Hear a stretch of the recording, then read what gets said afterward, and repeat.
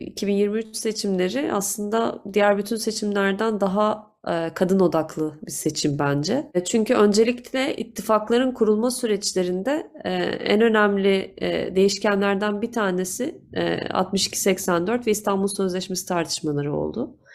Hatta yeniden Refah ve Hüdapar'ın ittifaka dahiliyet sürecinde 62-84'ün kaldırılması şartını getirdiği o anlamda da aslında e, neredeyse ittifakların belirleyicisi haline gelen bir mesele haline geldi kadınlar ve kadın hakları.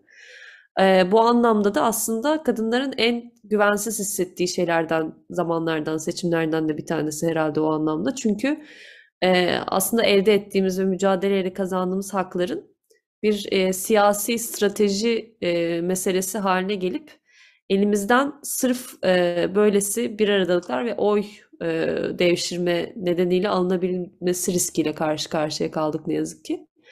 İstanbul Sözleşmesi sürecini yeni atlatmıştık. Afet sonrasında e, ki sürecin yönetimindeki büyük eksikliklere maruz kaldık. Kadınlar olarak daha da ağır bir şekilde tecrübe ediyoruz ve e, bölgedeki kadınlar çok ağır bir şekilde tecrübe etmeye devam ediyor. Tam bu esnada e, birçok konuşulabilecek şey varken iyileştirmeye ve önümüzdeki süreci daha herkesin iyi yaşayabileceği bir hale getirmeye e, doğru tam tersi oldu aslında. Kadınlar ellerinden nasıl haklarını alırız üzerine bir tartışmaya döndü ne yazık ki. Ama tabii diğer taraf da diğer taraf çünkü artık ne yazık ki yeni seçim sistemi nedeniyle sadece iki taraftan bahsedebildiğimiz neredeyse bir seçime doğru gidiyoruz. Ee, ki gönül isterdeki demokrasilerde daha çeşitlilik olsun. Muhalefet tarafına da bakıldığında özellikle ana muhalefet partisi etrafındaki e, siyasi akılda ne yazık ki listelerinde örneğin kadınlara e, söz verdiği şekilde e, yer vermedi. Hatta bizim e, doğrudan takip ettiğimiz adaylar vardı. Örneğin benim bir Müslüman kadınlardan, e, başörtülü kadınlardan e, takip ettiğim adaylar e, listeleri alınmadı. Helalleşme konusundaki sözün de o anlamda e, tam olarak verilmediğini düşünüyoruz aday listeleri seviyesinde.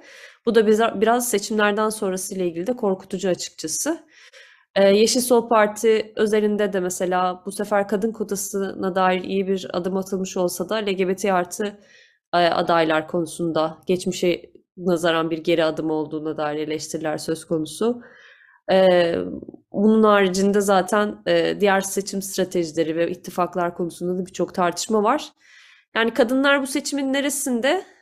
Çok sözde, çok dilde ama koltuklarda değil. Koltuklarda olmaları da daha istenmiyor sanırız ama o koltukları nasıl daha önce mücadeleyle aldıysa kadınlar bu seçimlerden sonra da her iki koşulda da her iki senaryoda da almak içinden geleni yapmaya devam edecekler. Ama e, bu sefer e, gerçekten ölüm kalım meselesi gibi e, cehennemin kapılarını kapatmak diye bahsetmiştim yazımda. E, açılacak şey bir cennet kapısı değil Brezilya'daki seçimlere referansla.